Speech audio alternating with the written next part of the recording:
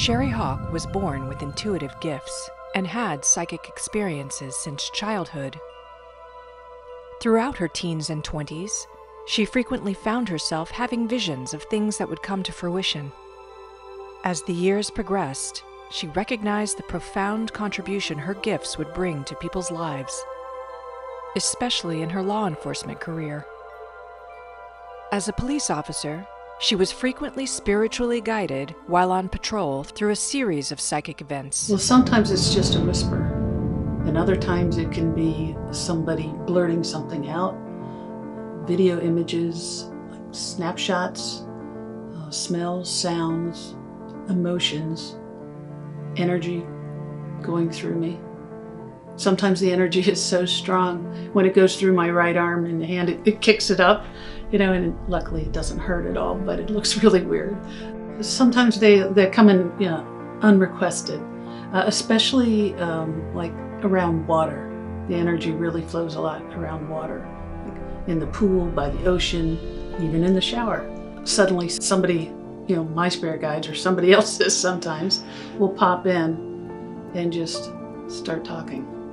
Oftentimes, when I'm communicating with a deceased loved one, I will feel a rush of their emotions, their love, their energy, their excitement and joy of being able to have an opportunity to speak with their loved ones and answer questions and help with that healing of words that weren't said in time or words that never got a chance to be spoken, maybe in years, that they can share that communication. It's, it's a beautiful beautiful feeling. She did not always want to be a police officer. After spending several years in business management, she began to feel drawn to public service, specifically family social welfare. After some time of shadowing a social welfare department supervisor, I witnessed firsthand the destruction of the families with this unending cycle of violence. And I realized that being a social worker and coming in to help after the violence wasn't enough. I needed to do something to protect the children. So I, I knew that my calling was to do more, to come in and, and be a person who helps protect and prevent the violence that was destroying these families, this cycle of violence. So I decided to try and get into law enforcement. And at that time in the 80s, it was a male dominated career field, and it was very difficult to even get in, especially if you wanted to be more than a meter maid. After six years of her quest to become a police officer, Sheri's dream became a reality when she was hired by her police department of choice working as a patrol officer. She always patrolled alone, so her spirit guide served as a supportive partner riding along next to her.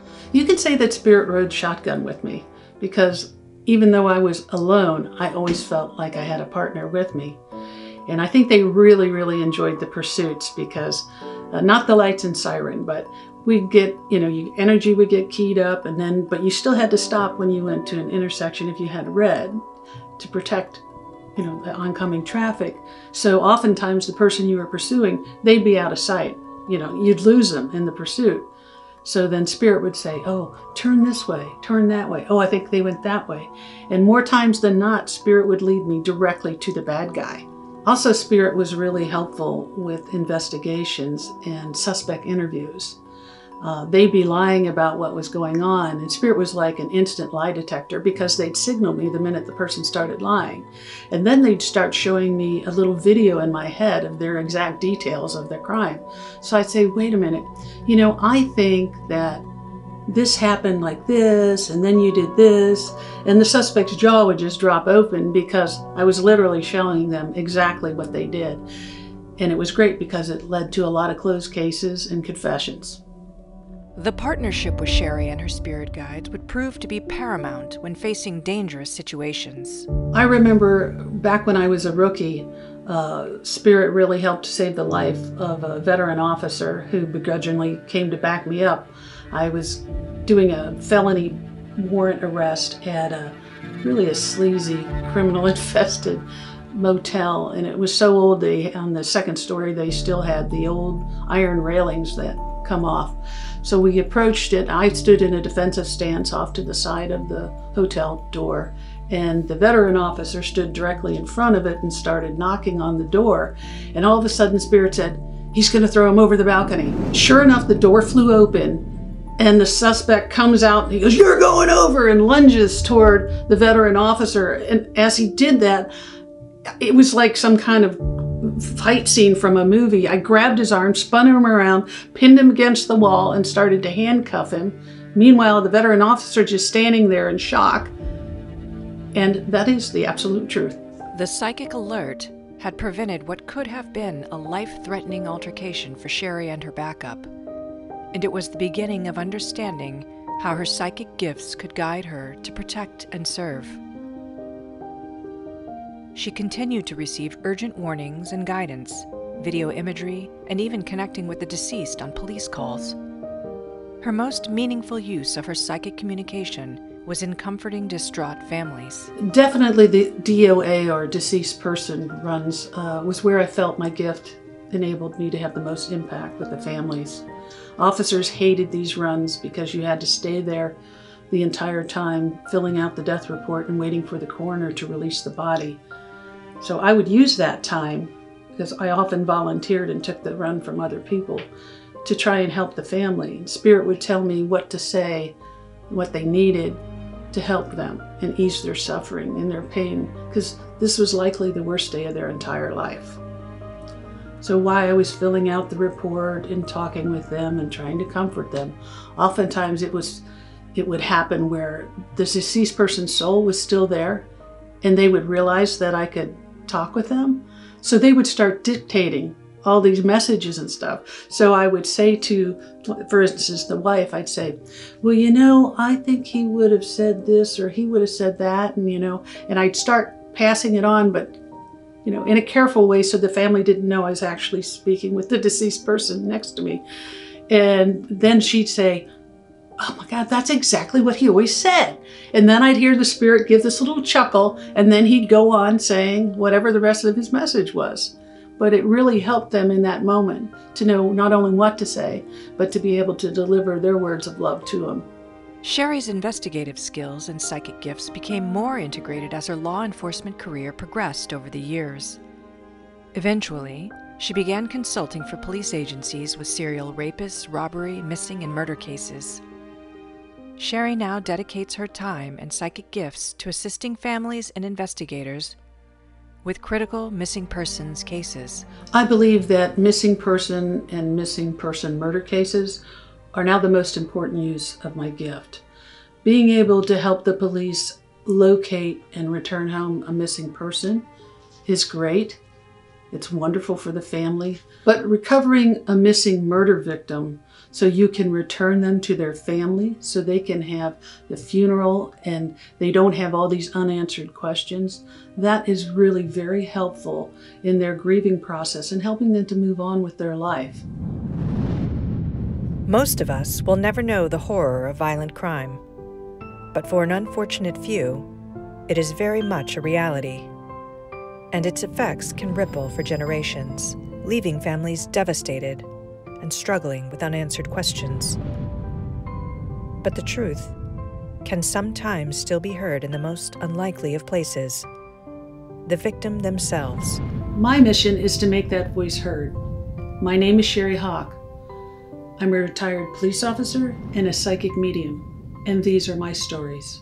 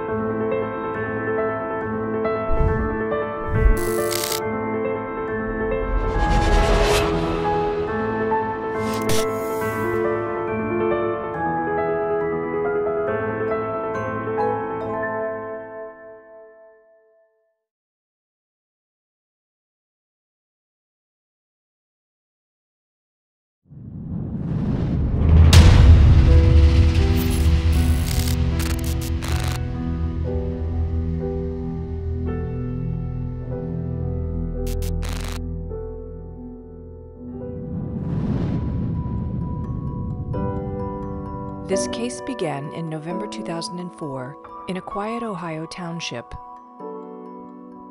The county's 911 emergency dispatch received a call from the frantic wife of a man we will identify as John Doe, who had just called their home to tell his wife he planned to end his life by driving into a lake. She begged and pleaded with her husband not to do it. Please, just come home. And tried to get him to tell her where he was driving. What road But John Doe would not be deterred from his plan and ended the call. Mrs. Doe provided the dispatcher with the details of the vehicle John was driving and his distraught mental state. Immediately, an emergency multi county alert was broadcast to law enforcement agencies. In 2004, we didn't have the same technology we have today, nor the vast number of cell towers where we can immediately start tracking your movement because you're pinging off tower after tower after tower. So when John Doe turned off his cell phone, the track stopped. He disappeared. John Doe was an energetic, healthy, and avid cyclist. He loved his family and outdoor adventures. This all ended for him when one day, while cycling,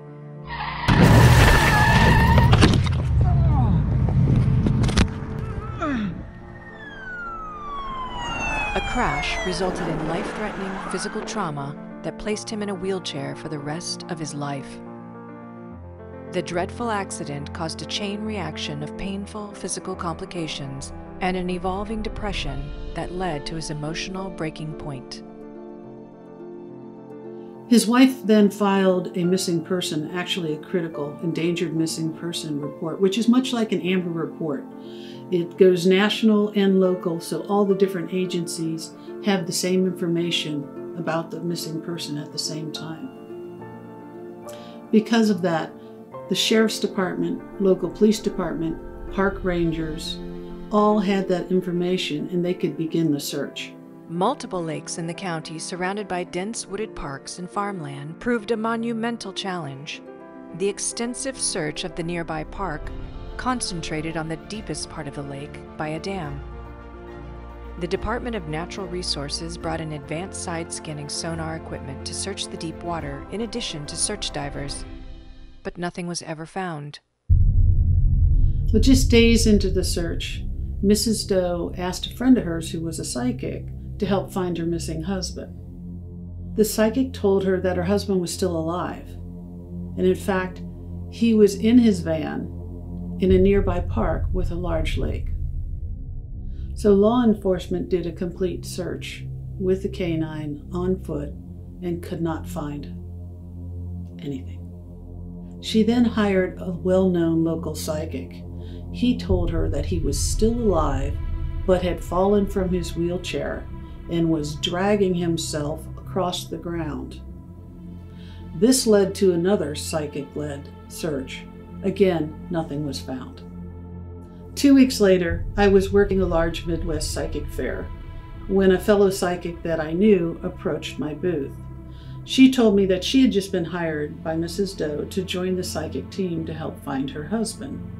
This psychic was receiving information that conflicted with the other two psychics who were already on the case. She said that she received that he had drowned, but he was in a lake two hours away in another state, and she asked for my help. I really felt for the wife and what she was going through and her attempts to try and find her husband. So I closed my eyes for a moment of prayer and meditation. And then I saw a vision as if I was in the driver's seat looking through a large windshield. I, I could see the water coming up, filling inside the van, but also up the window. And it got darker and darker until there was no light coming through the water at all. And then I felt the end of breath. I shared my vision with the psychic and told her he was not alive. In fact, he had drowned himself in his van. Due to her commitment to never accept payment when using her gifts to assist families and investigators during times of tragedy, Sheri declined an offer to join the paid psychic consultant team. What seemed like the end of her involvement in this case soon became clear was only the beginning. Just after I had recharged from the draining of the energy and emotions from the psychic fair, I was relaxing and looking out my family room window at the rolling wooded hills when all of a sudden this unfamiliar male energy burst into my family room. Hello? Are you going to help my family or not? I had no idea who it was, but he was extremely irritable and very intense in demanding that I help him. So I asked, Who are you? I'm John Doe, and yes, I am in spirit. When I realized who he was and that he was not going to go away, I asked him, Are you in the lake? Yes. He began sending me images of a state park with a lake where his body was located. Then I asked him, Did you drive your van into the lake from a boat ramp? Yes. Each time he spoke, he increased his volume and intensity. It was filling my family room. It was frightening, to be honest. I'm used to speaking with crossed over spirits, but usually they're excited and happy to have someone deliver messages for them. His demeanor definitely reflected that of an angry earthbound soul rather than one that was at peace in their heaven realm. This was the first time I ever had to set ground rules when I was dealing with a spirit. Bursting into my family room and barking with this aggressive energy was not how it was going to work. If he wanted me to help, he was going to have to be nice, and he would have to have enough sustained energy to stay with me while we talked and I got the necessary information. He agreed on the house rules and began telling me what happened. John told me that he took some pills before he left the house. As he drove to the park, he called his wife and told her of his plan and shared his love for her. Then he turned off his cell phone. When he arrived at the park, he parked at a boat ramp and he said he waited for about an hour or so for the pills to kick in and reduce his anxiety. I didn't want to be found and stopped. I prayed for the courage to do what I needed to do. There was no turning back. I knew that I would do it right this time. Then I backed up, opened my window, gunned it, and drove into the lake. There were so many search ideas from family, friends, psychics, and here I still remain. I wanted to be found, just not stopped. Please help my family.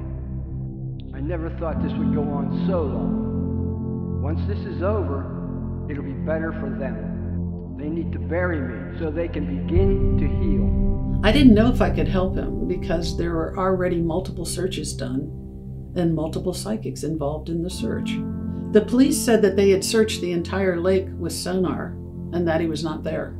So if he was there, I couldn't understand why no one could find him. They did not do the entire lake. They did not cover where I am. I'm too big to miss. I agreed to help him, but with certain conditions.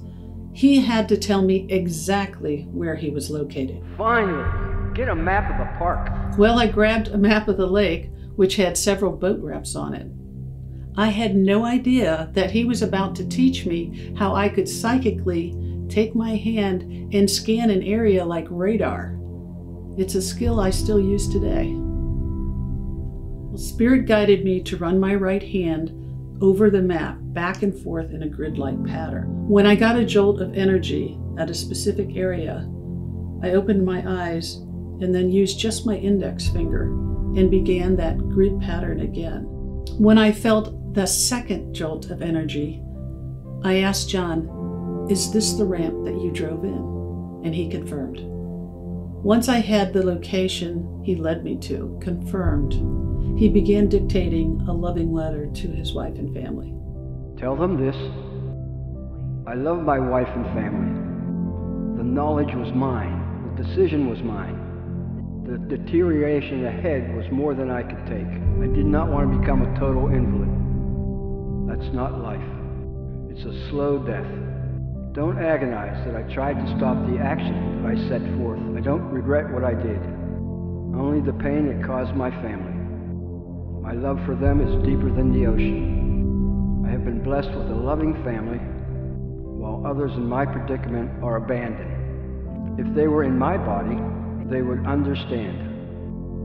I have years of trying times and years of love. I wanted to have control and final say over my body.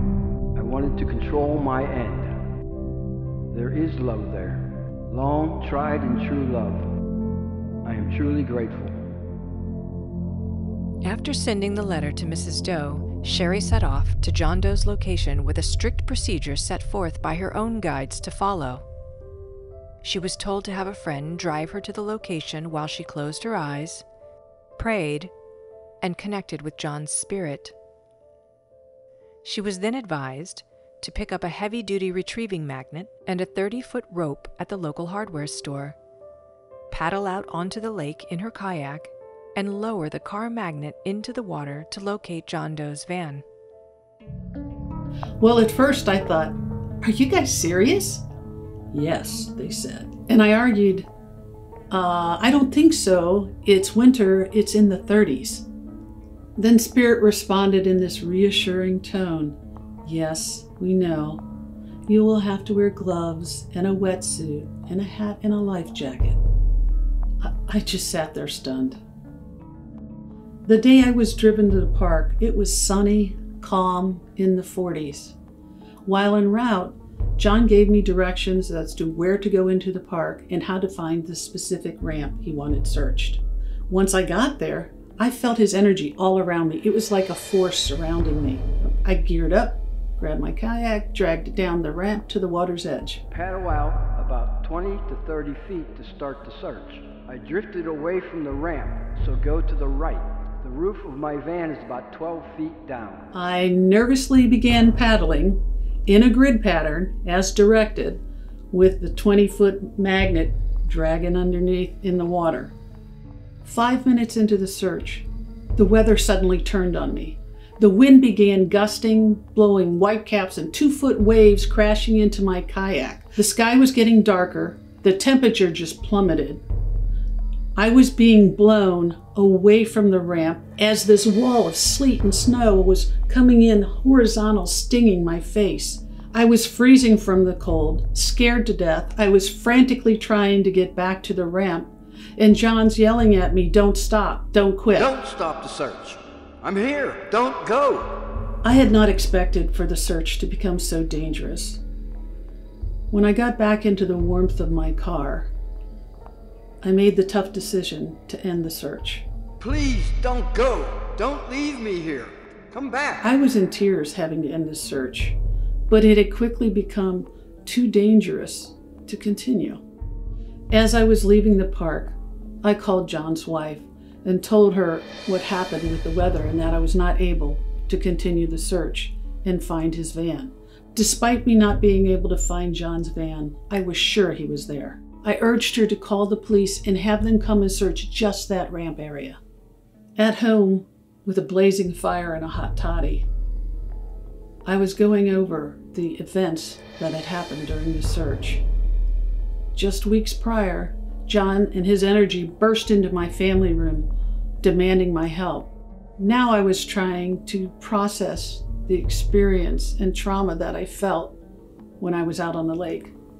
I was so grateful that I had Spirit's guidance for this search on this sunny day. And then it became terrifying. And then it was heartbreaking that I couldn't stay there and help John and finish the search. Mrs. Doe never gave up the search for her husband. On the afternoon of February 10, 2005, the police department investigating John's disappearance called Sheri while she was on patrol. They stated they would not conduct a search unless she responded to the scene.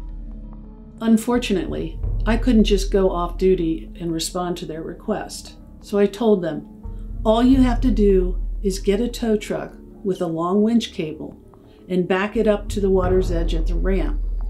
A diver can go in and hook up to the van. The van's 20 feet off to the right of the ramp. And you won't even have to do any more searching once you pull it out because he's still sitting in the van. Hours later, while I was still on patrol, I received the call. The police did do the search, and they found his van exactly where he said it would be. When the tow cable pulled his van out of the lake, they found him still seatbelted in the driver's seat. A huge wave of emotions went through my body. I was crying, I was shaking, I was saddened all at once. I gave grateful prayers for this blessing of having these psychic abilities so I could help him and his family. This was the first time that I was ever able to help locate a body psychically. This was so important because it validated the successful collaboration between a psychic, police, and detectives to help bring home the missing. This did not end my involvement because we were able to recover his body. John's family was able to have a funeral to honor him and say goodbye. John's wife invited me to come to the funeral service and to meet her and her family. And so I did. After the service, I met with the family privately to answer any questions that they may have about my communication with their father. As I was receiving their grateful hugs and thanks, I could feel John's energy all around. The room was just bursting with love. His energy was no longer the angry, desperate, earthbound soul. It was peaceful and loving. He was coming from his heaven realm. Soon after the funeral, I received beautiful thank you cards from John's wife and his sister. On February 21st, 2005, John popped in on me one last time. Thank you for bringing me back to my family. You saw how much love is there. Now they can all live on. After John's message, I was reminded to always trust my spirit guide's knowledge in the moment rather than my own feelings. I felt humbled, honored, and blessed to help John and his family.